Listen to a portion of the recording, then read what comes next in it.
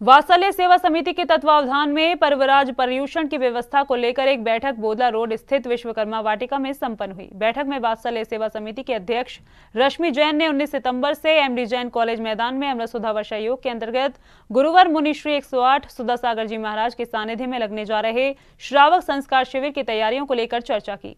वात्सल्य सेवा समिति के तत्वावधान में पर्वराज पर्यूषण की व्यवस्था को लेकर एक बैठक। बोदला रोड स्थित विश्वकर्मा वाटिका में संपन्न हुई। बैठक में वात्सल्य सेवा समिति के अध्यक्ष रश्मि जैन ने 19 सितंबर से एम डी जैन कॉलेज मैदान में अमृत सुधा वर्षा योग के अंतर्गत गुरुवर मुनिश्री, एक सौ आठ सुधा सागर जी महाराज के सानिध्य में लगने जा रहे श्रावक संस्कार शिविर की तैयारियों को लेकर चर्चा की।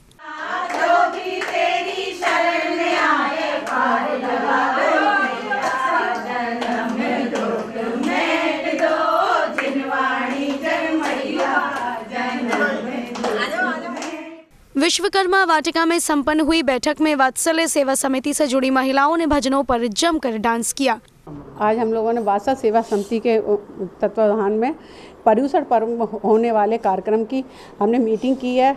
इसमें हमने अपने जो एम डी जन्म सेवार्थी भी आ रहे हैं, उनके लिए व्यवस्था और कैसे हमको उनको उनको आहार कराना है उनको लाना है ये सब अपनी फ्रेंडों से या अपनी ये सेवा समिति के सदस्यों से हमने मीटिंग की कि हमें व्यवस्था में सहभागिता करनी है।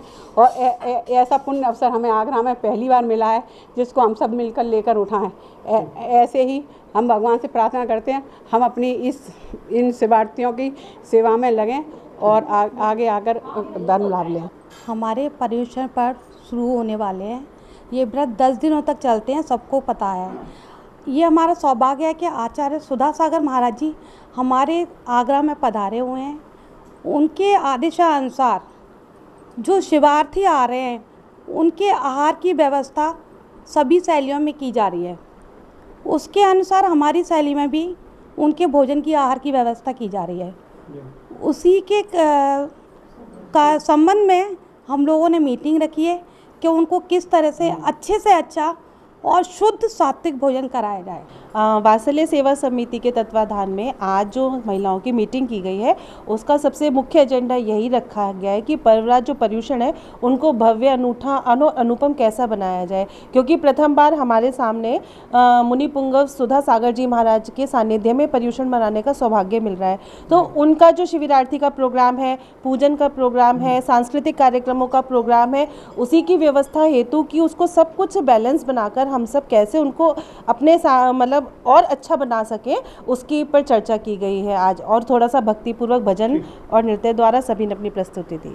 पर्वराज पर्यूषण को लेकर महिलाओं में उत्साह नज़र आया। इस बार शहर के भक्त गुरुवर सुधा सागर जी महाराज की निश्रा में व्रत रखकर प्रभु आराधना करेंगे। सी न्यूज़ के लिए अजय बहादुर की रिपोर्ट।